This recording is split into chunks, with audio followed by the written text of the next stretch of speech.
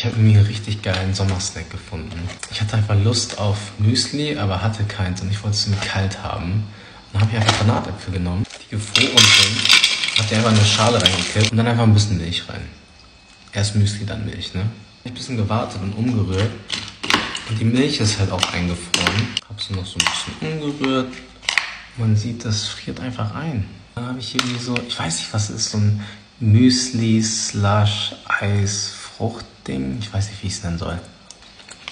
Aber voll erfrischend.